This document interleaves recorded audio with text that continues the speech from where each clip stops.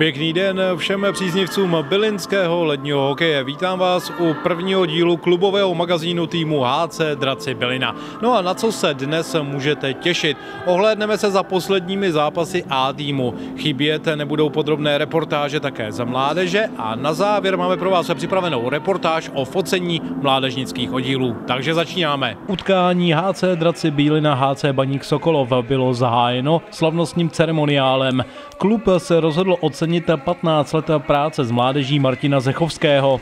Za potlesku tribun mu na ledové ploše poděkoval prezident HC Draci Bílina René Štěpánek, který mu za asistence mladých hokejistů předal zlatou plaketu a také velký dárkový koš. Následně Martin Nezechovský vodil čestnou buli. Musím přiznat, že mě to potěšilo hodně, vůbec nic takového jsem nečekal a všem děkuju.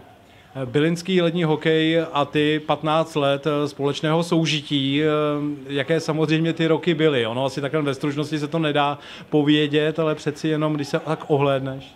No já musím říct, že to bylo 15 příjemně strávených let, budu na, budu na to rád vzpomínat a opravdu to stálo za to tady ten čas trávit. Zpět ale k samotnému utkání. To bylo zajímavé i tím, že na lavičce Sokolova se představil už v ten den nový kouč extraligového Litvínova Radim Rulík.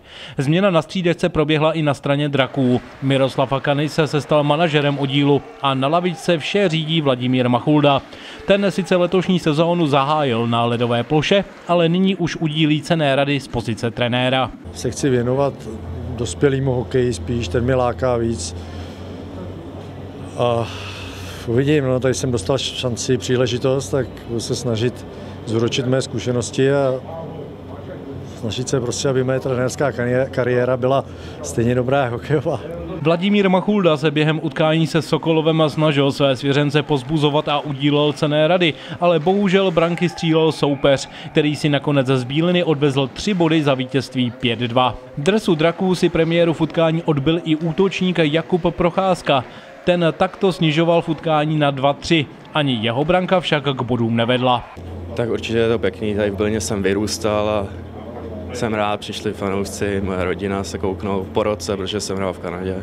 Co se nepovedlo v domácím utkání se Sokolovem, se vydařilo v dalším kole, ve kterém draci zvítězili na ledě v Klášterci v poměru 5-3. Tolik tedy podrobné informace o dění v A týmu a také představení nového hráče i nového kouče. A nyní už honem rychle za bílinskou hokejovou mládeží. Připraveny jsou reportáže z utkání mladších, ale i starších žáků. Mladší a starší žáci HC Draci Bílina úspěšně reprezentují město Bílinu a svůj oddíl. Zde můžete sledovat záběry z utkání mladších žáků ve kterém Bílina změřila síly s Mostem.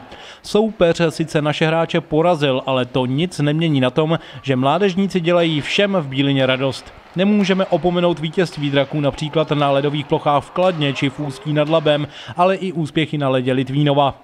S Mostem se mladším žákům zápas nevydařil a smutek byl v jejich očích znát. Čem byli lepší?